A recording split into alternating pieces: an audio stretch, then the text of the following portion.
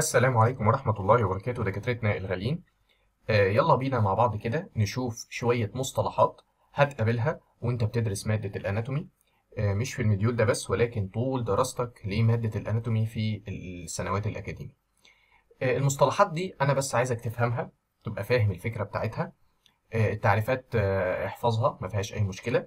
ولكن انت بس تبقى فاهم كل كلمة بتدل على إيه هو ده المهم بالنسبة لي هنبدأ طبعا مع أول حاجة عندنا ألا وهي ال tendon. كلمة ال tendon ما المقصود بيها؟ بكل بساطة بص معايا في الصورة الجميلة اللي أنا جايبها لك دي. إحنا دكاترة عندنا في جسمنا عضلات زي مثلا العضلة اللي موجودة في ال arm أو في الدراع عندنا العضلة دي بنسميها عضلة ال biceps. حتى الولاد لما بيروحوا الجيم يقول لك ده عضلة ال bi وعضلة ال tri أهي. شايفين العضلة دي؟ دي من أشهر العضلات اللي موجودة في الجسم. زي ما أنت شايف قدامك كده العضلة دي فيها الجزء اللي باللون الأحمر ده وفي جزء باللون الأبيض ده. شايفين يا دكاترة الجزء اللي باللون الأبيض سواء في منه موجود فوق أهو وفي منه موجود تحت أهو.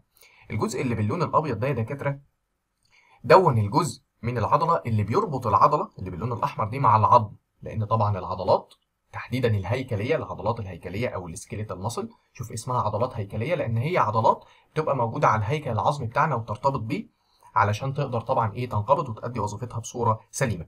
فالعضلة باللون الأحمر أهي وطالع منها الايه الحاجات اللي باللون الأبيض دي اللي بتربط العضلة دي مع العظم اهي البتاع اللي باللون الأبيض دي هي دي التندون. هي دي التندون. يبقى ما هو التندون؟ التندون ده عبارة عن حتة كده بتبقى طالعة أهي ماسكة العضلة مع العظمة. طيب وظيفة التندون ده إيه؟ لا ده مهم جدا عشان عملية الانقباض بتاعة العضلة. هي العضلة اللي هي عضلة ال biceps دي مثلا. شايفين أهي؟ دي عضلة ال biceps. لما بتنقبض وبتشد الدراع. وبتشد الإيه؟ الدراع زي ما أنت شايف كده. بتشده بواسطة إيه؟ ما هو بواسطة ال tendon ده يعني العضلة اللي باللون الأحمر لما انقبضت إزاي طلعت الدراع لفوق عن طريق ال tendon أو عن طريق الوتر اللي ماسك في العظم بتاع الإيه؟ بتاع الدراع اهو زي ما أنت شايف وخلى الدراع يتني وعن طريق برضو إنها متثبتة فوق ب two tendons اهم زي ما أنت شايف كده في العظم بتاع الكتف. طيب فلما نيجي نقرأ تعريف ال tendon بيقول لك والله ال tendons دول عبارة عن fibrous bands يعني إيه fibrous bands كلمة bands دي يعني زي ما تقول شريط. أو حبل ماشي؟ fibrous يعني مكونة من ألياف فهي زي ما تكون حبال كده مكونة من ألياف ماشي؟ مكونة من حاجة اسمها dense connective tissue هتاخد ال connective tissue أو هتاخد أنواع ال tissues بشكل عام في ال histology بالتفصيل ولكن ال dense connective tissue دوت أو النسيج الضام آه ال connective tissue يعني النسيج الضام ممكن تكون سمعت عنه وأنت بتدرس الأحياء في ثانوية عامة. ده أحد أنواع الأنسجة اللي موجودة في جسمنا وده نسيج قوي جدا قوي جدا بيستحمل تمام؟ فال tendon دوت عبارة عن أنسجة ليفية fibrous band طيب الأنسجة الليفيه بتتكون من أنهي نوع من ال tissues أو أنهي نوع من الأنسجة؟ لأن الأنسجة أنواع كتير. قال لك بتتكون من النوع اللي اسمه dense connective tissue وده زي ما اتفقنا هتدرسه بالتفصيل في ال histology عندنا حاجة اسمها ال dense connective tissue ده نوع من أنواع الأنسجة اللي موجودة في جسمك. أهو النوع ده منه بيتكون ال tendon أو بيتكون ال structure اللي باللون الأبيض ده اللي إحنا إيه شاورنا عليه واتكلمنا عنه. خلاص؟ طيب. الحتة اللي بتميز ال tendon علشان في حاجات كتيرة قوي يا دكاترة بتتكون من من من, من أنسجة ليفية أو fibrous bands الحاجة اللي بتميز ال tendon إن هو بيربط العضلة زي ما هو واضح كده من الصورة مع العظمة أو أحيانا مع ال cartilage اللي هو الغضروف. خلاص؟ يبقى مهمته إن هو بي connect ال muscle بيربط العضلة to ال bone مع العظمة أو أحيانا ال cartilage اللي هو الغضروف. خلاص؟ دي الحتة اللي مهمة قوي واللي بتميز ال tendon. يبقى لو أنا عايز أعرف ال tendon كده بكل بساطة ماشي؟ تعريف كده بالبلدي خالص. هو عبارة عن شريط مكون من ألياف ماشي؟ أو حبل مكون من ألياف مكون من fibrous bands تمام؟ بيتميز إن هو بيربط لي العضله بتاعتي مع العظم أو مع الغضاريف اللي هي ال cartilage خلاص؟ وفي معلومة كده هو حاططها لك يعني زيادة بيقول لك إنها بتبقى supplied by ال sensory fibers يعني إيه supplied by sensory fibers supplied يعني تتغذى بواسطة sensory fibers يعني إيه sensory fibers يعني انسجة بص يا شباب الجهاز العصبي بتاعنا في منه أعصاب مسؤولة عن نقل الإحساس. الأعصاب اللي بتنقل الإحساس دي ممكن نقول عليها ال sensory fibers أو الأعصاب الحسية. أو الألياف الحسية. ألياف بتنقل الإحساس. فال tendon ده بيتغذى ب sensory fibers. ده معنى كلمة supply by sensory fibers يعني بيتغذى بأعصاب حسية. طيب حضرتك الأعصاب الحسية دي جاية منين؟ قال لك ده بت extend from the muscle nerves يعني إيه؟ هي مش العضلة بتاعتنا. بتتغذى بأعصاب عشان تخليها تقدر تنقبض وتنبسط وغيره. آه طيب ما الأعصاب اللي بتغذى العضلة دي بيطلع منها sensory fibers أو أعصاب حسية بالبلدي خالص كده بتغذي الوتر اللي أنت شايفه قدامك أو ال tendon دوت. تمام؟ فايدة دي أو أو أو تستدل من النقطة دي على إن أنت لو واحد مثلا خبطك خبطة جامدة في المنطقة مثلا بتاعة الكتف دي أو بتبان قوي في في الرجل. عارفين في الرجل؟ في الرجل. في وتر اللي هو وتر أخيل اللي أنتوا خدتوه في ثانوية عامة أو حتى لو مش خدتوه حسس على كعب رجلك كده من ورا هتلاقي وتر تخين كده. أهو الوتر ده لما بيتخبط خبطة جامدة ممكن يورم وبيوجع الشخص. طيب بيوجعه ليه يا دكتور؟ أصل ال tendon بيتميز إن هو بي supplied by sensory fibers يعني بي بي بي بيتغذى بأعصاب حسية. لما بيتخبط الخبطة الألم اللي بينتج عنها بيتنقل والشخص بيحس بيه. تمام؟ طيب جميل جدا. يبقى إحنا كده فهمنا ال tendon وفهمنا الفكرة بتاعته وفهمنا إن أنت لو اتخبطت فيه خبطة جامدة هتحس بألم شديد لأن هو طبعا بيتغذى بأعصاب حسية أو ب sensory fibers بتيجي منين حضرتك بتيجي من ال nerve اللي بيغذي أو من العصب اللي بيغذي مين؟ العضله حلو الكلام؟ طيب جميل. تعالوا نخش بعد كده على النقطة اللي بعد كده ألا وهي مين؟ ال ligaments. طيب ال ligaments لو عايزين نتكلم عنها بالبلدي خالص برضو هي إلى حد كبير تشبه ال tendon. يعني إيه تشبه ال tendon يا دكتور؟ هو ال tendon ده أنا قلت لك عبارة عن إيه؟ مش قلت لك عبارة عن band أو حبل بيتكون من fibrous tissue بيتكون من أنسجة ليفية. آه طيب كذلك على فكرة ال ligament برضه بيتكون من fibrous band أهو زي ما أنت شايف كده. قال لا يعني ده بيتكون من fibrous band وده بيتكون من fibrous band يعني الاثنين بيتكونوا من انسجة ليفية. طب أنا هفرق ما بينهم إزاي؟ كل اللي هعمله إن هبص ال fibrous band أو الأنسجة الليفية أو الحبل اللي بيتكون من أنسجة ليفية ده بيربط لي إيه بإيه. لو كان بيربط لي زي ما إحنا شفنا في ال tendon العضلة بعظمه بقول عليه tendon. طب لو بيربط لي عظمتين ببعض لا في الحالة دي بقول عليه ligament فال ligament ده عبارة عن fibrous band بتتميز إنها بت connect ال bone اللي هي العظم to bone يعني ممكن تربط عظمة بعظمة أو إنها بت connect ال bone أهو to ال cartilage يعني إيه cartilage يعني غضروف. يبقى أنا لو عندي fibrous band لو عندي إيه fibrous band يعني إيه fibrous band يا دكتور؟ يعني عبارة عن بالبلدي خالص حبل مكون من انسجه ليفيه انسجه ليفيه قوية. والله لو بيربط لي ما بين عظمة وعظمة أو عظمة وغضروف في الحالة دي بقول عليه ligament طب لو كان بيربط لي ما بين عضلة وعظمة أو عضلة وغضروف. في الحالة دي بقول عليه tendon. والصورة اللي جايبها لك دي موضحة الموضوع بصورة جميلة جدا. دلوقتي أدي دي عضلة أهو شايف مشاور لك عليها وقايل لك muscle اللي باللون الأحمر دي. ودي عظمة أهو مشاور لك عليها وقايل لك bone. ودي عظمة مشاور لك عليها وقايل لك bone. بصوا كده ال fibrous band اللي بتربط العضلة بالعظمة دي مشاور عليها وقايل tendon. آه يا دكتور جميل قوي الكلام ده. بصوا بقى ال fibrous band دي أهو اللي بتربط ال bone دي أو العظمة دي بالعظمة دي مشاور عليها وقايل ligament آه يبقى أنت كده فهمت الفكرة. تمام؟ فال ligament وال tendon شبه بعض ك structure قوي متقاربين جدا من بعض. لكن الفكرة إن ال tendon بيبقى مختص بربط العضلات بالعظم أو بالغضاريف بينما ال ligament بيبقى مختص أكتر بربط إيه؟ أو هو مختص بربط العظم مع بعضه bone to bone زي ما قايل لك هنا. أو ممكن bone to cartilage يعني عظمة مع غضروف. تمام؟ طيب في حالة تانية للل ligament موجودة في جسمنا؟ آه ودي حالة خاصة كده شوية. إيه هي الحالة؟ إن هو بيقول لك إنها ممكن تبقى عبارة عن folds أو انثناءات لل peritoneum. إيه هو ال peritoneum؟ ده بالعربي اللي هو الغشاء البريتوني. إيه الغشاء البريتوني ده؟ ده عبارة كده عن غشاء كده موجود في ال viscera كلمة viscera يعني الأحشاء الباطنية بطنك من الآخر. عبارة عن غشاء موجود في بطنك بيغلف بيغلف ال structures اللي موجودة في بطنك بيغلف التراكيب أو بيغلف الأعضاء اللي موجودة في بطنك زي مثلا الأمعاء زي مثلا المعدة وغيره. فال peritoneum أو الغشاء البريتوني ده أحيانا بيبقى فيه شوية انثناءات ماشي؟ الانثناءات أو ال folds دي بتقدر إنها تربط لك الأعضاء اللي موجودة في بطنك مع بعضها البعض مثال بسيط أنت عندك أحد هذه ال folds أو أحد هذه الانثناءات للغشاء البريتوني بيربط المعدة مع ال colon أو القولون. تمام؟ بنقول عليه ال gastrocolic ligament. كلمة gastro دي الصفة بتاعة المعدة. يعني إحنا لما نحب نتكلم عن المعدة بنقول عليها gastro. دي الصفة أو الاسم الحركي ليها. و colic ده الاسم الحركي للقولون. ماشي؟ ف gastrocolic ligament ده عبارة عن رباط موجود في البطن كده بيربط المعدة بيربط يعني ما بين المعدة وما بين القولون. إحنا عارفين القولون ده أحد أجزاء الأمعاء اللي موجودة في بطننا. خلاص؟ آه طبعا إحنا مش عايزين نخش في تفاصيل خالص لأن الكلام ده كله زي ما قلت لك أنت هتدرسه بالتفصيل الممل على طول المديولات اللي جاية. تمام؟ لكن أنا بس الفكرة إن أنت تبقى فاهم كل كلمة بتدل على إيه لا أكتر ولا أقل. تمام؟ طيب طب إحنا كده خلصنا كمان مين؟ ال ligaments تعالوا كده يا دكاترة بقى نخش على الايه اللي عليه الدور ألا وهو إيه؟ ال raphe. إيه ال raphe ده؟ أو إيه حكاية ال raphe ده؟ بص زي ما قلت لك اعرف المعلومة كده افهمها وبعدين نبقى نقرأ الكلام. طبعا دوت زي ما إحنا شايفين دي رجلين طبعا واحد وده إحنا هنا باصين من تحت عليه. طبعا دوت male أو ذكر ودوت القضيب بتاعه ودي المنطقة اللي هي موجودة تحت ما بين الرجلين. خلاص؟ المنطقة دي آه، اللي موجودة ما بين الرجلين فوق فتحة الشرج أو فوق ال anus ال anus اسمها فتحة الشرج. آه، بيوجد كده سواء كان male أو female على فكرة سواء كان راجل أو ست. بيوجد كده لو حسست هتلاقي زي خط كده بسيط كده أو خط رفيع كده. ماشي؟ دوت بنطلق عليه اسم ال raphe. إيه ال raphe دوت؟ ده عبارة زي ما تقول كده عن إيه؟ عن خط بيتكون كده من أنسجة ليفية بيربط two structures متماثلين مع بعض. يعني إيه؟ يعني مثلا شايفين الجلد ده والجلد ده؟ آه أنا عايز أربطهم مع بعض. بسيطة اربطهم مع بعض هنا عن طريق خط. الخط دوت بيتكون من ألياف. وبنطلق على الخط ده اسم ال raphe. بنطلق عليه اسم يا دكاترة ال raphe. لو عايز نقرب لك الموضوع خالص خالص خالص اعتبر إن أنت عندك قماشتين. عندك قماشتين وعايزين نربط القماشة الأولى مع القماشة الثانية والله هجيب القماشة الأولى تمام وهجيب القماشة الثانية جنبها وأروح جاي مخيطهم بخياطة.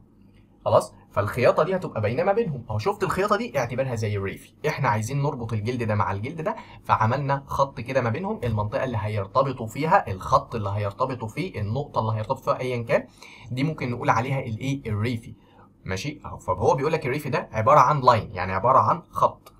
Of union of symmetrical structures. يعني union يعني اتحاد. Symmetrical structures يعني آه، آه، structures يعني تراكيب متماثلة. زي هنا مثلا شايفين الجلد ده والجلد ده. أهو النقطة اللي التقوا فيها اللي هي دي. أهو مشاور لك عليها وقال لك ال perineal ال raphe ال perineal عشان المنطقة دي اسمها ال perineal آه، فهو عبارة عن خط أو line بيجي من ال union يعني اتحاد of symmetrical structures.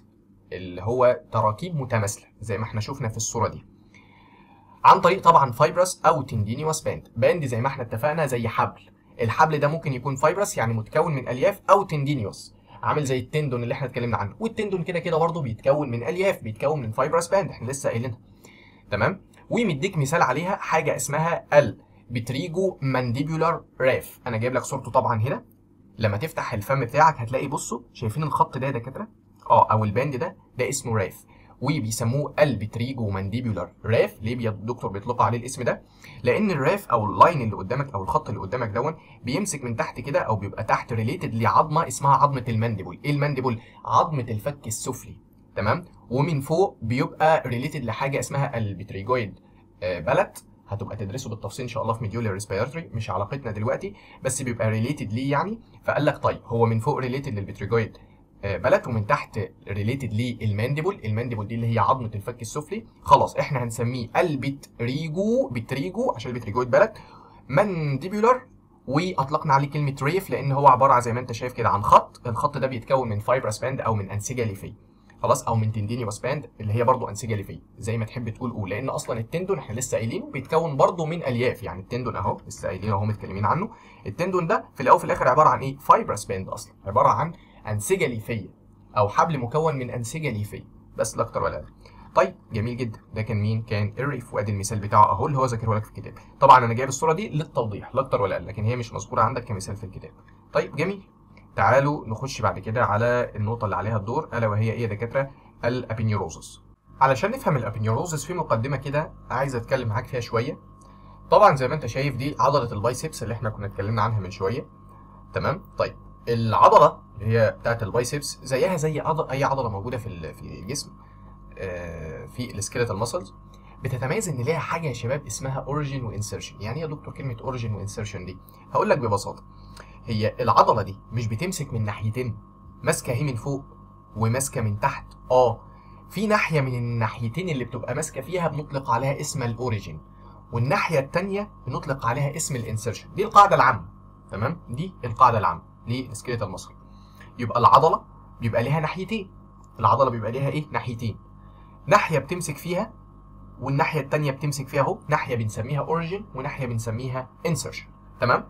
طيب يا دكتور إحنا بنطلق لقب origin أو insertion على أنهي ناحية؟ يعني مثلا الناحية دي هل أقول عليها origin ولا أقول عليها insertion طب الناحية دي أقول عليها origin ولا أقول عليها insertion والله بص القاعدة العامة إن إحنا آه بنشوف العضلة بتتحرك إزاي وبناء على حركتها بنطلق لقب ال origin أو ال insertion على المنطقة اللي بتمسك فيها. بمعنى ال origin وال insertion بينهم علاقة جميلة قوي بتقول لك إيه؟ بتقول لك إن في القاعدة العامة إن ال insertion بيتحرك ناحية ال origin يعني إيه؟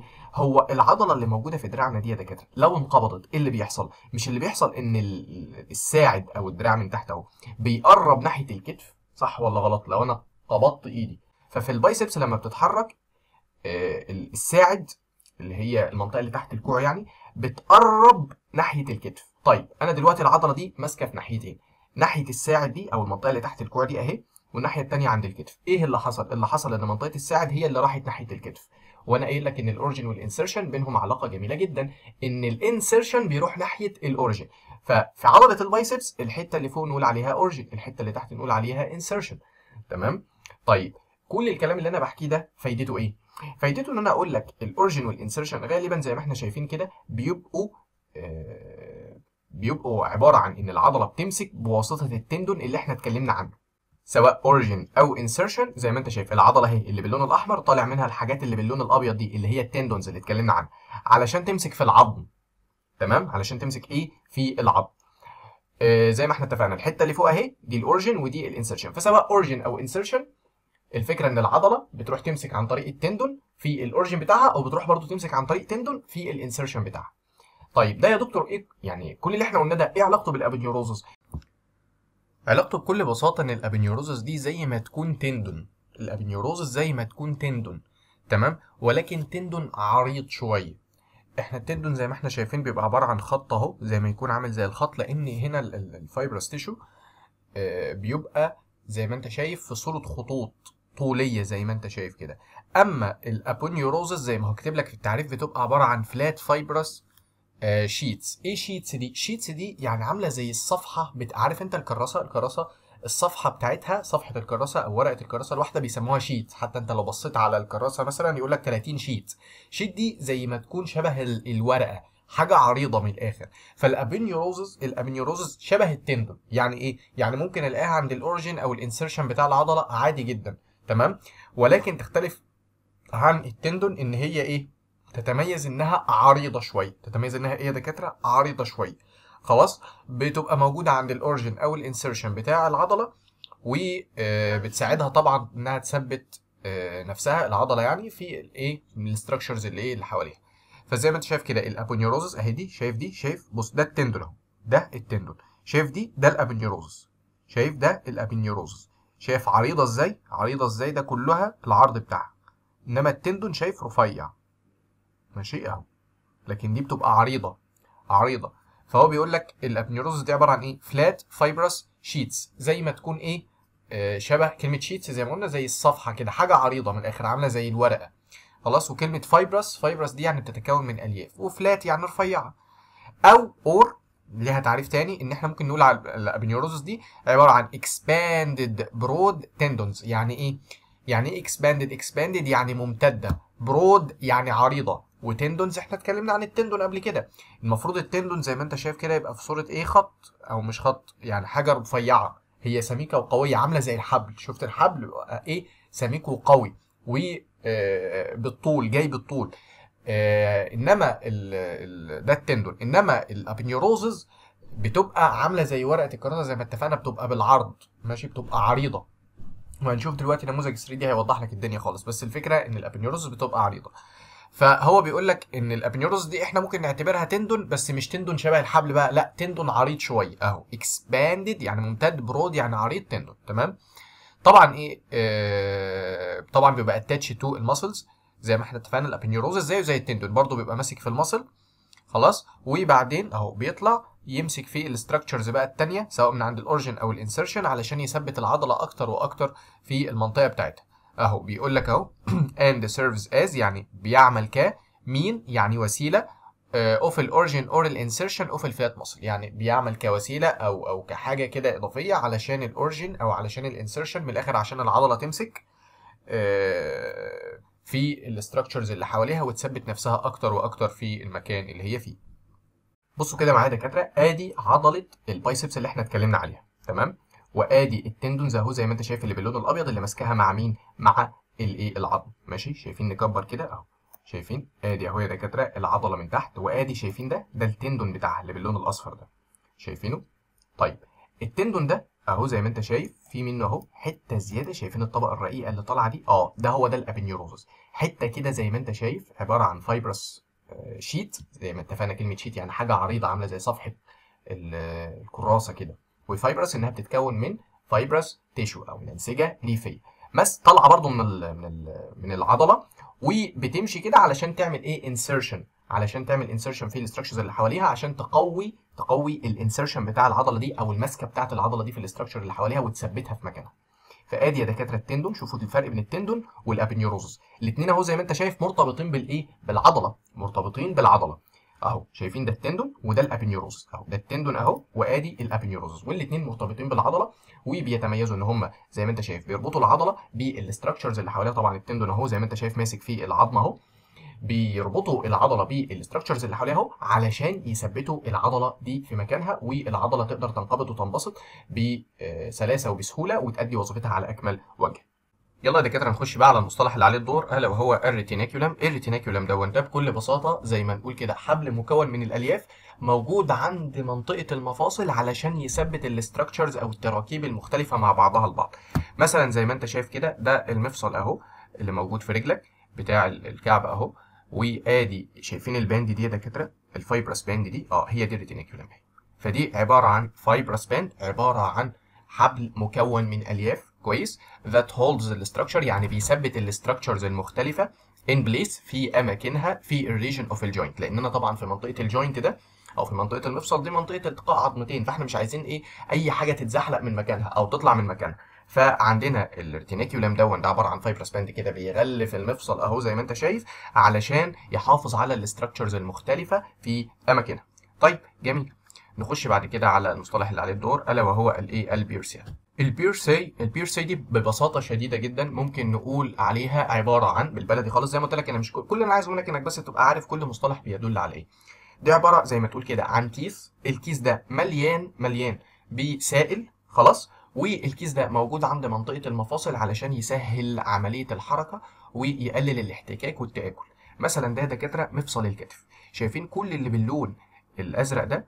آه يا دكتور هي دي ال bursa طيب دي بتبقى عبارة عن كيس. الكيس ده مليان سائل مليان سائل ومتبطن من جوه على فكرة ب synovial membrane أو غشاء زلالي. هو ده اللي بيفرز السائل. تمام؟ وظيفته إن هو زي ما اتفقنا بيوجد زي ما أنت شايف كده عند منطقة المفاصل علشان يسهل عملية الحركة ويقلل الاحتكاك. فهو بيقول لك عبارة عن fluid filled flattened sacs كلمة sacs يعني أكياس و flattened يعني مبططة. ماشي؟ زي ما أنت شايف كده مبططة كده. وكلمة fluid filled يعني مليانة سائل. ماشي؟ بتتكون من إيه؟ حضرتك قال لك ده بتتكون من synovial membrane إيه ال synovial membrane ده خدناه لما كنا بنتكلم عن ال synovial joints لو تفتكروا. فال synovial membrane دون بي يعني ليه القدرة إن هو يفرز السائل ده؟ السائل اللي بيملى الكيسة دي. طيب وظيفتك إيه حضرتك؟ إن أنا بعمل facilitate لل movement facilitate يعني يسهل ال movement اللي هي الحركة by minimizing يعني بتقليل ال friction عن طريق تقليل الاحتكاك. فبتخلي الدنيا أسهل عند المفاصل. وأدي المثال عند حضرتك أهو. تمام؟ طيب أهو شايف مشاور لك أهو. بأسمائهم بقى المختلفة. دي مثلا ال subcoracoid bursa. عندك مثلا ال subdeltoid bursa. إلى آخره. فكلهم أهو زي ما أنت شايف اللي باللون الأزرق دول كلهم ده الأمثلة اللي موجودة عندنا. تمام؟ طيب. نخش بعد كده على المصطلح اللي على الدور حاجة اسمها ال synovial tendon sheath. sheath دي يعني حاجة بتغلف أو غلاف. كلمة sheath يعني غلاف. طيب. و tendon sheath يبقى غلاف هيغلف ال tendon. هو إيه ال tendon ده يا دكتور؟ ال tendon ده اللي إحنا قلنا عليه قبل كده. دون الحتة اللي كانت بتمسك العضلة فيها عن طريق إيه بتمسك العضله العضلة لما بتحب تمسك في العظمة بتمسك عن طريق ال tendon ده أهو. كنا خدناها في أول الدرس أهو. نجيبها أهو. فاكرين ال tendon ده؟ أهو لما كانت العضلة دي تمسك في العظمة دي عن طريق مين؟ ال tendon. تمام؟ طيب دلوقتي أنا بكلمك عن إيه؟ أهو بكلمك عن س... آه بكلمك عن ال synovial tendon sheath. يبقى بكلمك عن غلاف هيغلف مين؟ ال tendon ده. فمثلا على سبيل المثال شايفين يا دكاترة ده tendon أهو لعضله ماشي؟ شايفين الحتة اللي عليه دي؟ أهو. شايفين ال sheath أو الغلاف اللي عليه ده؟ آه يا دكتور أهو. ده tendon sheath. ده عبارة عن غلاف حوالين ال tendon دوت. تمام؟ وبيتميز إن هو بيكون فيه آه fluid يعني هو برضه sac أو أو عامل زي الكيس ومليان fluid بس الفكرة إن هو حوالين ال tendon. الفكرة إن هو فين؟ حوالين ال tendon. أهو بيقول لك ده ال synovial tendon sheaths ده عبارة عن synovial fluid filled tubular sacs واحدة واحدة. كلمة sac يعني إيه sac؟ يعني كيس. عامل زي الكيس. ماشي؟ tubular يعني زي ما يكون مطول شبه الأنبوبة كده. ماشي؟ tubular دي عشان تعرفها عارف أنت الشفاطة اللي بتجيبها؟ دي شكلها tubular تمام؟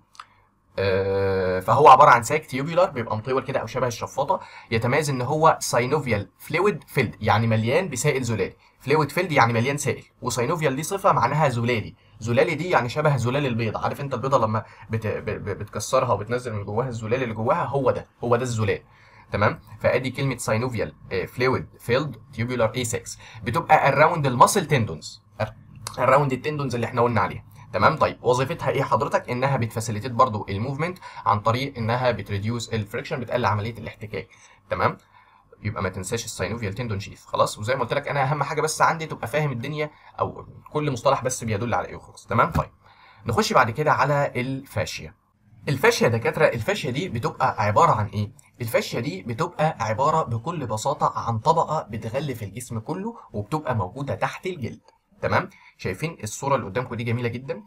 هنا المفروض كان الجلد يغلف الجسم كله. أنا شلت لك كل الجلد اللي على النص ده وسبت لك الطبقة اللي باللون الأبيض دي. إيه الطبقة دي يا دكتور؟ دي طبقة ال fascia تمام؟ فالطبقة دي بتبقى موجودة ال fascia دي بتبقى موجودة تحت الجلد وبتغلف برضه الجسم كله. أهو دون الجزء الأولاني من تعريف كلمة ال fascia بيقول لك دي عبارة عن fibrous sheet fibrous يبقى بتتكون من ألياف. و sheet sheet دي يعني حاجة عريضة. ماشي؟ مش مش مش حاجة آه زي ما تقول إيه مطولة كده لأ حاجة عريضة حاجة حاجة عريضة زي مثلا الصفحة أو الورقة آه بتاعة الكراسة.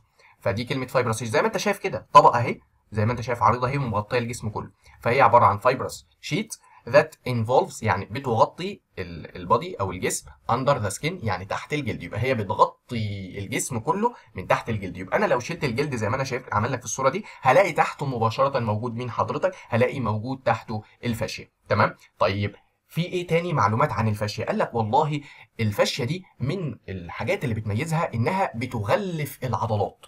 ماشي؟ مش العضلات دي موجودة تحت الجلد عندنا. آه ال fascia دي بتتميز إنها بتغلف العضلات وهيبان لك الموضوع ده بالتفصيل الممل في module musculoskeletal تمام؟ فهو بيكمل لك التعريف وبيقول لك والله ال fascia كمان بتتميز إنها بتعمل invests invests يعني بتغلف أو بتكسو the muscles اللي هي العضلات. طيب خلاص خلصنا كده ال fascia قال لك لا ده ليها خاصية كمان. إيه يا عم كمان؟ قال لك هي ال fascia دي مش عبارة عن fibrous sheet أو نقدر نقول عليها بتتكون من أنسجة ليفية آه يا دكتور طبقة بتتكون من أنسجة ليفية وبتتميز إنها بتغلف الجسم كله. آه ليها وظيفة جميلة جدا جدا جدا. إيه الوظيفة دي؟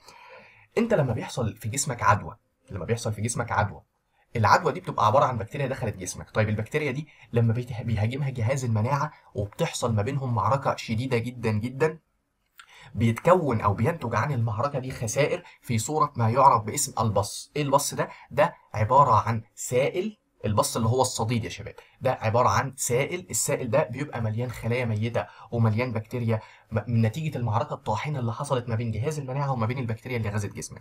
طبعا ال pus ده لو انتشر في جسمك هتبقى مشكلة كبيرة. ليه؟ لأن هو بيحتوي على خلايا ميتة وبيحتوي على بكتيريا. فكل ما هينتشر جوه جسمك كل ما هيعمل لك مشاكل أكتر وأكتر وهيسمح بانتشار العدوى لاماكن أكتر وأكتر. طيب مين اللي بيحميني من النقطة دي؟ قال لك ال fascia دي. شايف ال fascia اللي بتغلف جسمك من جوه من تحت الجلد؟ ال fascia دي بتحد وبتمنع انتشار الصديد ده. أهو بتقول لك بتعمل limit يعني بتحد من the spread اللي هو انتشار of ال pus أو الصديد. يبقى أنا لو حصل لي عدوى بكتيريا جوه جسمي ماشي؟ أي حاجة حصلت جوه جسمي مثلا جالي التهاب رئوي خلاص؟ بسبب بكتيريا معينة. أي حاجة حصلت عندي المهم إن في بكتيريا عرفت تدخل جسمي. جهاز المناعة مش هيسيبها في حالها هيقوم يهاجمها. لما يهاجمها هيتكون نتيجة المعركة اللي بتحصل ما بينهم سائل يعرف باسم ال pus. ال pus ده بيحتوي على إيه؟ على بكتيريا وبيحتوي على خلايا ميتة من المعركة دي. خلاص بكل بساطة. طيب البص ده لو انتشر في الجسم هيعمل لي مشاكل؟ طبعا لأن هو لو انتشر في الجسم بما يحتوي من خلايا ميتة وبكتيريا هيقعد بقى ينقل البكتيريا دي لأجزاء الجسم المختلفة ويساهم في انتشار العدوى. لكن ربنا سبحانه وتعالى رحيم عمل لنا حاجة اسمها الفاشيه الفاشيه دي بتحد وبتمنع من انتشار البص كده وبس. قال لك لا. إيه كمان؟ قال لك أنت عمرك سمعت عن واحد آه بيقولوا عليه جاله نزيف داخلي؟ يعني إيه نزيف داخلي؟ يعني وعاء دموي جوه الجسم بقى. ماشي؟ جوه الجسم اتقطع وبدأ يسرب دم جوه الجسم. آه يا دكتور. طيب ده ما بيبانش عليه ليه؟ يعني ليه الواحد لو اتعور مثلا بينزف دم؟ طب اللي اتعور وبدأ في دم ينزف جوه جسمه. ليه الدم ده ما بشوفوش مثلا ما بيطلعش بره جسمه؟ قال لك علشان ال fascia اللي بتغطي الجسم من كل حتة بتمنع تسرب أي سوائل من جوه الجسم لبره تمام؟ فبيقول لك أهو بتمنع كمان بت limit برضو يبقى هي بت limit حاجتين الحاجة الأولانية ال spread of ال pus الحاجة الثانية ال extravasated fluid يعني extravasated fluid يعني fluid أو سوائل fluid يعني سوائل و extravasated يعني سابت الأوعية اللي بتمشي فيها وطلعت بره. ده معنى كلمة extravasated fluid زي مين؟ زي ال urine. عارفين ال urine أو البول؟ ماشي؟ ال urine أو البول لو مثلا مثلا انفجرت ولا حاجة لأي سبب من الأسباب والبول ده يعني نقول إيه انتشر في الجسم من جوه مش هيبان. مش هيطلع عليا من بره يعني مش هلاقي الشخص اللي مثانته انفجرت دي عمال ينزل بول لأ لأن ال fascia هتمنع انتشار ال fluid ده بره الجسم. مش كده وبس كمان ال blood ال blood اللي هو الدم زي ما قلنا واحد جاله نزيف داخلي في وعاء دموي من الأوعية الدموية مثلا وليكن اللي بتغذي يا عم الأمعاء اتقطع لأي سبب من الأسباب وبدأ ينزف جوه الجسم. طيب ليه الدم دون مش بيطلع بره الجسم؟ يعني ليه الشخص ده مثلا ما لهوش كح دم مثلا؟ أو ألاقيه بيجي يعمل حمام في دم نازل؟ لأ ليه؟ لأن عندنا فاشية الفاشية دي محوطة الدم ده. الفشه دي محوطة الدم ده وبتمنع خروجه وبتمنع إيه يا دكاترة آه خروجه. يبقى إحنا كده فهمنا الفاشية بشكل عام. الفاشية بكل بساطة لو أنا عايز أعبر عنها في كلمة واحدة بس دي عبارة عن طبقة. تحت الجلد بتغلف الجسم بس مش عايز أكتر من كده. تاني طبقة. تحت الجلد بتغلف الجسم وبتغلف كمان العضلات. ماشي؟ بتحوط الجسم كله زي ما أنت شايف كده في الصورة دي. طيب ال fascia دي يا دكاترة بقى عبارة عن نوعين. إيه هما النوعين بتوع ال fascia؟ عندك حاجة اسمها ال superficial fascia وعندك حاجة اسمها ال deep fascia. تاني عندنا مين؟ ال superficial fascia وعندنا ال deep fascia. والله قبل ما نقرأ أي كلام كل اللي أنا عايزك تشوفه معايا موجود في الرسمة دي. بصوا يا دكاترة أول طبقة عندنا الطبقة دي مكتوب عليها أهو ال skin ال skin اللي هو الجلد. وعلى فكرة الجلد دوت في طبقات بتكونه رئيسية طبقة اللي فوق خالص أو السطحية خالص اللي هي أنت لو بصيت على إيدك دلوقتي أو بصيت على جلدك دلوقتي هتلاقيها طبقة اسمها ال epidermis وتحتيها طبقة اسمها ال dermis. ماشي؟ يبقى ال skin ده فيه طبقتين أساسيتين بيكونوه طبقة اسمها ال dermis وطبقة اسمها ال epidermis. كلمة epi يعني فوق. كلمة epi يعني فوق. فإحنا عندنا طبقة اسمها dermis والطبقة اللي فوقيها اسمها طبقة ال epidermis. فين طبقة ال epidermis دي يا دكتور؟ دي أنت ممكن تشوفها. شوفها إزاي؟ بص على جلدك. الطبقه اللي انت شايفها على جلدك هي طبقة ال epidermis وتحتها طبقة اسمها ال dermis تمام؟ الطبقتين دول بيكونوا بصورة أساسية مين؟ ال skin أو الجلد. وتحت الجلد بيبقى فيه طبقة باللون الأصفر اللي انت شايفها دي طبقة من الدهون ماشي؟ اسمها ال subcutaneous fat sub يعني تحت cutaneous يعني جلد fat يعني دهون. فاحنا بنقول الدهون اللي تحت الجلد فبنقول عليها ال subcutaneous fat اللي هي باللون الأصفر دي. تحت بقى الطبقه الدهنية دي بتوجد ال superficial fascia تمام؟ ما هي ال superficial fascia ال fascia السطحية أو الخارجية. لأننا عندنا النوع الثاني اللي هو ال deep fascia اللي هي ال fascia العميقة اللي موجودة تحت خالص. تمام؟ طيب يبقى أنا عندي ال skin وتحتيه شوية نسيج دهني زي ما أنت شايف كده ثم بتظهر مين؟ ال superficial fascia خلاص؟ طيب بعد ال superficial fascia بنلاقي طبقة دهنية ثانية ظهرت أهو دي adipose tissue. كلمة adipose tissue يعني نسيج برضو دهني بيتكون من fat بيتكون من دهون. وتحته ببدأ بقى ألاقي الطبقة اللي باللون الأزرق اللي أنت شايفها قدامك دي اللي هي ال deep fascia. الطبقة اللي باللون الأزرق اللي أنت شايفها قدامك دي هي ال deep fascia. هو بيقول لك multilayer structure of the deep fascia يعني طبقات متعددة من ال deep fascia بس الفكرة اهو شايف ال deep fascia وتحت ال deep fascia بتوجد الطبقة اللي باللون الأحمر دي اللي هي ال muscle أو العضلات. خلاص؟ يبقى إحنا دلوقتي شفنا ال superficial fascia أهي وشفنا كمان ال deep fascia أهي فوق العضلات يعتبر. اللي هي باللون الأزرق دي. فلما بيكلمك عن ال superficial fascia بيقول لك إيه؟ والله دي عبارة عن loose connective tissue تمام؟ يعني إيه loose connective tissue يعني بتتكون من نسيج ضام مش مهم قوي المعلومة لكن مهم إنها فين؟ between خلي بالك من الحتة دي. between مين the dermis And the deep fascia خلي بالك من الكلمة. the dermis إيه ال dermis دون؟ إحنا قلنا. ال dermis دون طبقة من الطبقات اللي بتكون ال skin أو الجلد. الجلد أو ال skin ده بيتكون من طبقتين. طبقة اسمها dermis موجودة فوق. الطبقه السطحيه أو النص الفوقاني منه. الطبقة بقى النص التحتاني اللي هي دي اللي تحت هنسميها ال dermis. يبقى عندنا طبقة ال epidermis فوق وعندنا طبقة ال dermis تحت. ال skin بيتكون من إيه؟ طبقتين رئيسيتين ال dermis وال epidermis هتاخد الكلام ده بالتفصيل في ال histology طبقة ال epidermis مش عايزها أنا عايز طبقة ال dermis اللي هي تحت. فقال لك طبقة ال dermis دي أهي اللي هي تحت دي وما بين ال deep fascia اللي هي دي اللي باللون الأزرق بتوجد مين؟ السوبرفيشال فاشيا. دي fascia برضو بيسميها ال investing fascia كلمة investing يعني التي تحوط شيئا ما. كلمة investing دي يعني التي تكسو أو تحوط شيئا ما لاننا اتفقنا إن ال fascia كانت بتكسو أو بتحوط العضلات. شايفين العضلة دي ال muscle دي متغطية فوق بمين؟ بالطبقة اللي باللون الأزرق دي اللي هي ال deep fascia اللي إحنا اتفقنا عليها. طيب بيقول لك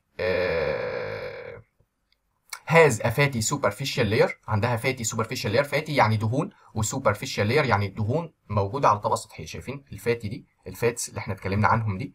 آه يا دكتور شايف ال fats دي الطبقه الدهنيه دي اللي كانت تحت الجلد مباشرة وتحتها ال superficial fascia زي ما انت شايف كده. ففي المنطقة دي بقى بيوجد إيه بيوجد ال fats زي ما انت شايف اللي هي الدهون وبيوجد cutaneous vessels أوعية دم أوعية بتبقى موجودة هنا بتغذي الجلد أوعية دموية وشوية nerves شوية أعصاب شوية lymphatics lymphatics دي اللي هي الأوعية الليمفاوية and شوية glands شوية غدد زي الغدد العرقية مثلا اللي بتفرز العرق. كل دي بص عبارة عن إن أنت بتقرأ الكلام بس تفهمه لا أكتر ولا مش عايز منك أكتر من كده. افهم بس الكلام. خلاص. وليها كمان membranous deep layer يعني بيبقى فيه تحتها كده طبقة غشائية كلمة membranous يعني غشاء أو و deep layer يعني اللي موجودة تحت يعني طبقة كده أو غشاء موجود تحت كده بي إيه بي بي support مين أو بيدعم مين؟ ال superficial دي. تمام؟ بس أهم حاجة تعرفها لي النقطة المهمة بالنسبة لي إن ال superficial دي بتوجد ما بين زي ما أنت شايف ال skin تحديدا طبقة ال dermis وما بين مين؟ ال deep fascia خلاص؟ نخش على ال deep fascia بقى. ال deep fascia مش هنحتاج نتكلم عنها. أهي ال deep fascia اللي هي دي. طيب بيقول لك عبارة عن ال deep fascia. والله ال deep fascia is a sheet of fibrous tissue بتتكون من fibrous tissue بتتكون من انسجه ليفيه بتتميز إنها invest the muscle يعني invest the muscle يعني بتحوط العضلات. أهو شايفين؟ ال muscle أهي العضلة أهي وفوقيها بتوجد مين؟ ال deep fascia. تمام؟ and help support them وبتساعد إنها تدعمهم. خلاص؟ عن طريق إنها serving يعني بتخدم ك elastic sheath يعني عبارة عن غشاء إلاستيك يعني مطاطي كغشاء مطاطي بيحوط العضلة وبيحميها أو التشبيه الثاني ده اللي عاجبني خالص اللي هو stocking إيه stocking ده؟ stocking ده يعني شبه الجورب شبه الشراب. عارف أنت رجلك لما بتدخلها جوه الشراب كذلك الأمر. العضلة ندخلها جوه ال fascia فال fascia بتغطي زي ما أنت شايف العضلة من فوق زي ما الشراب بيغطي رجلك من فوق و آه وبيحميها. تمام؟ طيب. النقطة الثانية إنها provides ال origin أو ال insertion for ال muscle بتساعد في عمل ال origin وال insertion بتاع ال muscle. طب إزاي يا دكتور بتساعد في عمل ال origin وال insertion بتاع ال muscle؟ إحنا خدنا ال origin وال insertion واتكلمنا عنه من شوية. خلاص وقلنا العضلة بتقدر تروح تعمل origin أو insertion في العظمة عن طريق ال tendon اللي بيمسك ما بين العضلة والعظمة. طيب إزاي بقى ال fascia بتساعد في الموضوع دوت؟ إحنا اتفقنا إن ال fascia خلاص بتغطي العضلة من فوق. الفكرة إنها بت forms fibrous sheaths تاني بت forms fibrous sheaths يعني بتكون زي ما نقول كده طبقات الطبقات دي بتتميز إنها ليفية. خلاص طبقات إيه؟ ليفية. آه for ال tendon.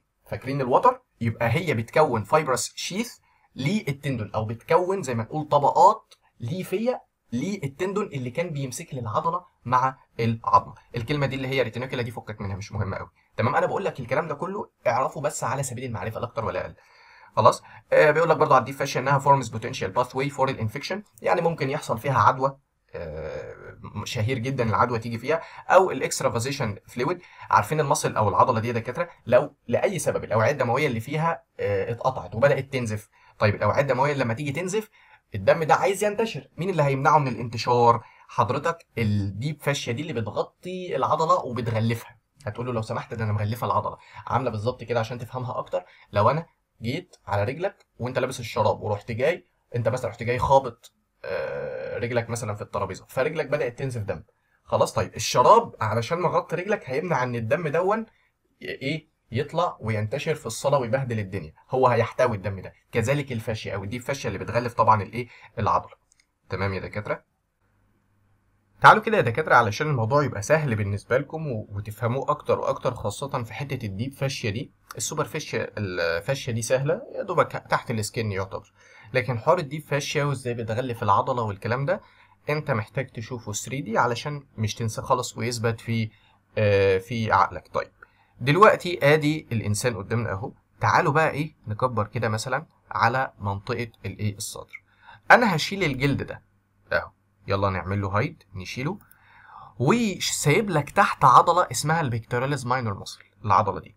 تمام؟ طيب لما نكبر كده هنلاقي العضلة زي ما يكون عليها طبقة كده من بره. شايفين الطبقة دي؟ اللي أنا عملتها باللون الأخضر دي. أهي الطبقة دي هي ال fascia اللي بتغلف العضلة. ال fascia اللي بتغلف العضلة دي بنقول عليها deep fascia خلاص؟ شوفوا أنا لما أشيلها لما أعمل لها هايد شفتوا العضلة بانت إزاي من تحتها؟ طيب تعالوا نرجع الفاشية تاني. أهو. شفتوا الفكرة؟ يبقى أنت لما تشيل الجلد ماشي وتبص على العضلات هتلاقي العضلة زي ما أنت شايف كده بتبقى متغطية بفاشية. متغطية بفاشية. الفاشية دي عبارة عن إيه؟ انسجه ليفيه خلاص؟ الفاشية دي أهو. أنا لو شلتها هلاقي العضلة تحتها مباشرة. فالفاشية دي بتبقى مغلفة للعضلة زي ما اتفقنا زي ما يكون واحد لابس شراب. خلاص؟ رجلك مغلفة بالشراب. تمام؟ أظن كده إن شاء الله تكون إيه تكون وضحت. تعالوا بقى كده نتكلم على آه، نقطة آه، جديدة عندنا ألا وهي حاجة اسمها ال landmarks و reference lines إيه الفكرة؟ الفكرة دلوقتي لو أنا عندي structure معين أو عندي تركيب معين أنا عايز أستدل عليه. قال لك والشخص قدامك واقف تستدل عليه إزاي؟ بيقول لك إن أنت بيكون عندك زي علامات موجودة في جسمك أو حتت معينة موجودة في جسمك. الحتت دي ممكن تتحس. وبدلالة الحتت دي أنا بقدر أحدد ال underlying structures أو التراكيب اللي موجودة تحتها. يعني يا دكتور أنا مش فاهم حاجة من الكلام ده. أنا هديك مثال بسيط مثلا. أنا دلوقتي لو جيت قلت لك أنا عايز أحدد القلب موجود فين بالظبط.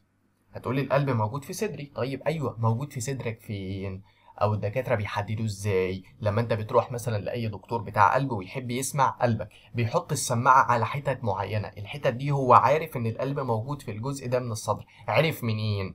قال لك الفكرة إن هو بيحط إيده بايده بيحط إيده على صدرك فبيحس عظمة القص ماشي أو عظمة الاسترنم وبيحس الضلوع جنبها بيعد الضلوع خلاص. وهو بيبقى عارف مثلا إن القلب بيمتد ما بين الضلع الفلاني والضلع الفلاني فبيحط سماعته في الحتة دي. فهو بدلالة الإحساس اللي حسه بدلالة إن هو حسس على صدرك ولمس الضلوع وعرف أماكنها وعرف يحددها كويس عرف يستدل على مكان القلب بدقة. تمام؟ وبناء عليه إحنا أحيانا بنستخدم ما يعرف باسم ال surface anatomy يعني إيه ال surface anatomy يعني الت- التشريح ال- ال- من السطح الخارجي بنسميه ال surface anatomy اللي هو الشخص قدامي أنا لا هدب فيه مشرط ولا هفتح ولا أي حاجة. ده وهو قدامي. أنا بإيدي هدور على شوية structures أو تراكيب معينة أحسها وبدلالتها هعرف أستدل أو بيها هعرف أستدل على structures تانية. فهو بيقول لك في ال surface anatomy إحنا عندنا palpable structures يعني تراكيب محسوسة ممكن أحسها بإيدي. زي عظمة القص مثلا في الصدر. زي عظمة ال clavicle مثلا. كل دي تراكيب محسوسة. Or visible markings أو علامات ظاهرة أو واضحة. مثلا أنا بقول لك ده في إيه؟ ده في artery معين أو شريان معين ماشي ورا ودنك بالظبط. واضحة لك الفكرة؟ on طبعا إيه؟ ال surface of the إيه؟ the body يعني من على سطح الجسم من بره. وطبعا دي بت used أو بتستخدم علشان to identify ال location بتاع ال underlying structures عشان نعرف التراكيب بقى اللي تحتها. زي ما أنا لسه شارح لك. لو أنت مثلا رحت لدكتور قلب. وعلشان يكشف عليك فبيحط السماعة على قلبك. طيب هو عارف منين إن المنطقة دي فيها القلب؟ ببساطة حسس على صدرك خلاص ومسك الضلوع وعدهم وعد المسافات اللي بينهم وعرف إن القلب مثلا بيمتد ما بين النقطة دي والنقطة دي. آه، مثلا ال apex بتاعت ال heart جزء كده في ال heart بيحب يسمعه من عنده موجود في ال fifth intercostal space ما علينا يعني فهو عد الضلوع. والله القلب معروف إنه بيمتد ما بين الضلع الفلاني للضلع الفلاني فهو حط سماعته في المنطقة دي وبدأ يسمع. خلاص؟ بلاش. انت مثلا عندك شريان معين ماشي جنب الايه ماشي جنب حنجرتك مثلا. فالحنجرة حاجة واضحة ومتشافة فالدكتور بيروح جاي حاطط إيده مباشرة علشان يشوف مثلا ال- ال pulse أو يشوف ال- النبض في الشريان دوت. ماشي اللي هو ال carotid artery ما علينا وغيره بقى. فالفكرة إن هو استخدم الموضوع ده هنا هيوضح لك طبعا بالمثال اللي هو ضاربه لك علشان يحدد الفقرات بتاعة العمود الفقري.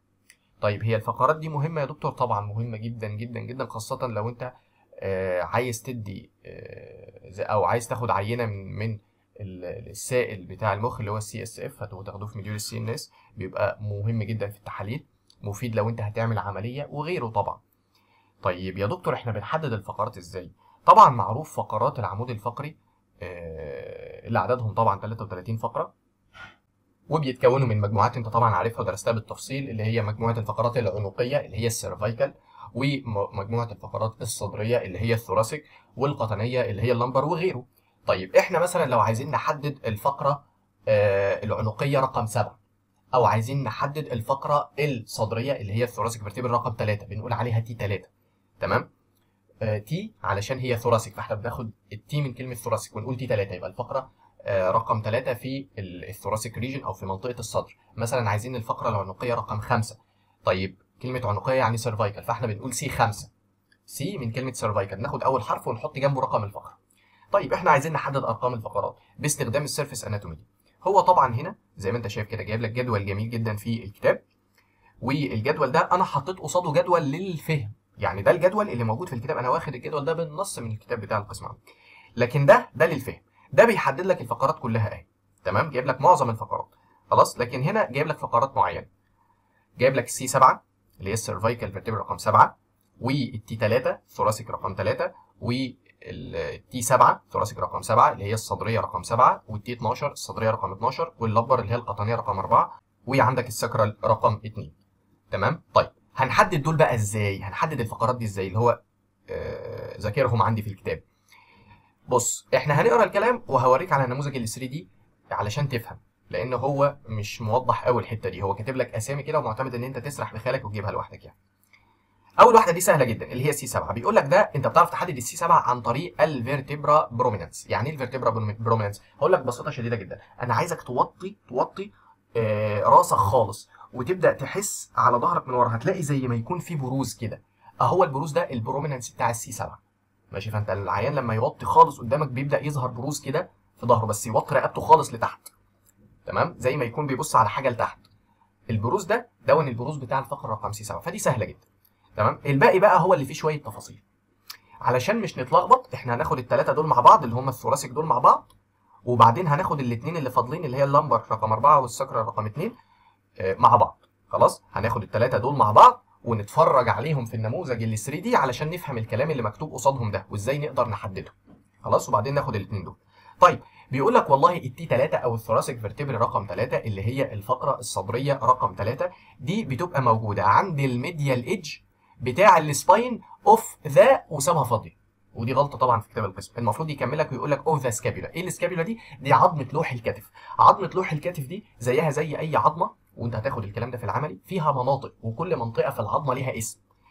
أحد المناطق اللي موجودة في العظمة اسمها ال spine. اسمها إيه؟ ال spine. هنشوفها دلوقتي ما تقلقوش. قدام ال spine دي من الناحية ال medial إحنا خلاص فاهمين يعني إيه medial ويعني إيه lateral هنلاقي ال T 3 خلاص؟ أو ال thoracic vertebrae رقم 3 أو الفقرة الصدرية رقم 3 وطبعا عظمه لوح الكتف سهل جدا إن أنا أحسها على المريض أو على العيان وأحس عليها ال spine. سهلة جدا. تمام؟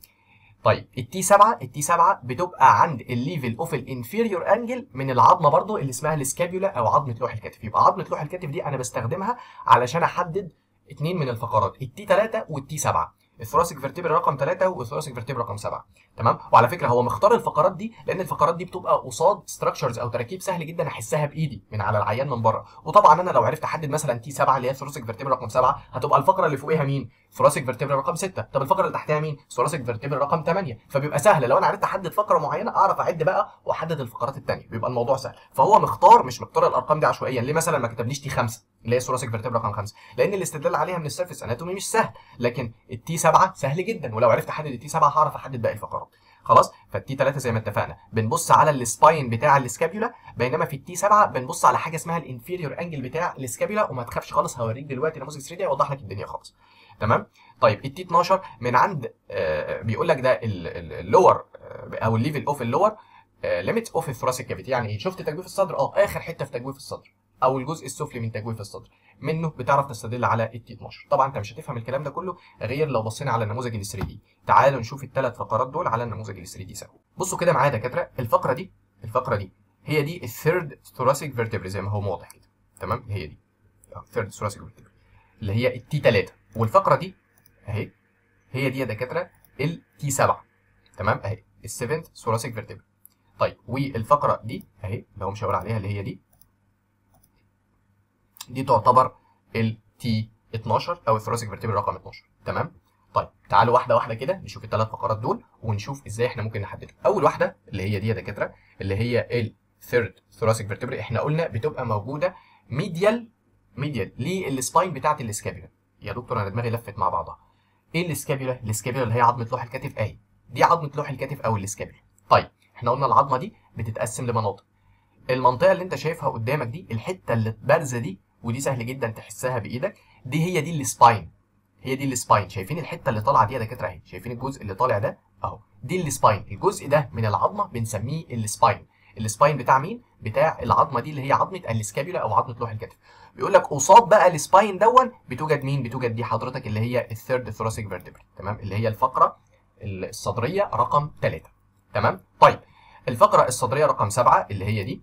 قال لك دي بقى آه sorry اللي هي دي بتوجد فين؟ قال لك الفقرة الصدرية آه رقم 7 بتوجد قصاد ال inferior angle بتاعة عظمة ال scapula.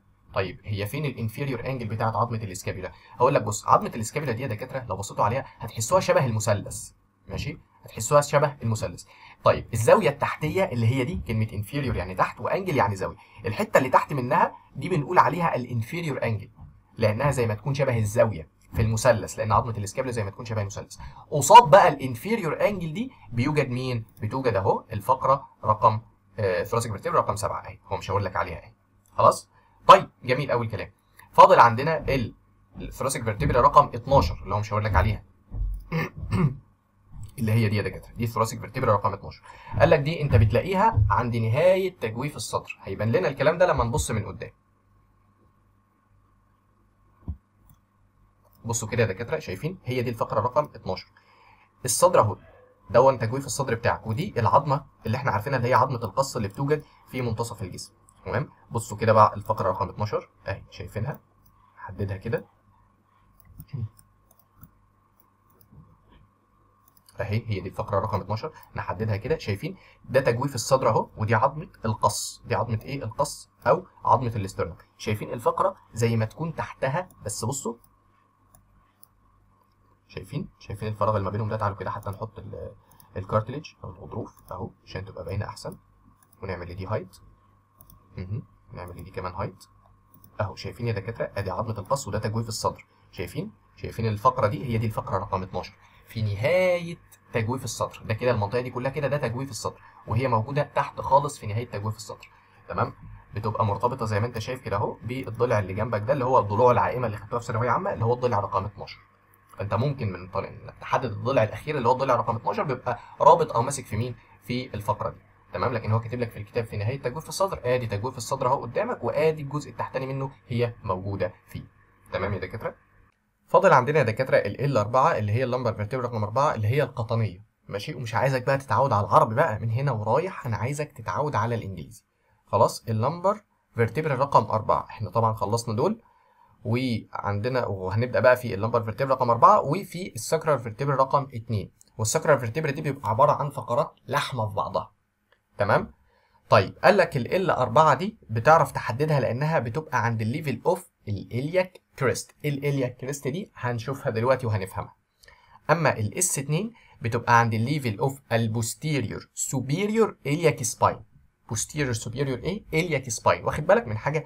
دي ال iliac crest ودي ال iliac spine يبقى أنا من غير ما أتكلم الاثنين دول الاثنين دول سواء ال L 4 أو ال S 2 بستخدم فيهم عظمة واحدة بس اسمها عظمة ال ilium العظمة دي أنا بستخدمها علشان أحدد مين ال L 4 وال S 2 طيب إحنا اتفقنا إن كل عظمة بتتكون من مناطق وكل منطقة ليها اسم زي ما شفنا عظمة ال scapula أو عظمة لوح الكتف شفنا فيها الحتة اللي تحت اللي سميناها ال inferior angle بتاع ال scapula تمام؟ وشفنا فيها الحتة بتاعة ال spine بتاعتها. ال spine دي ال spine كنا بنستخدمها عشان نحدد ال T 3 وال inferior angle عشان نحدد ال T 7 تمام؟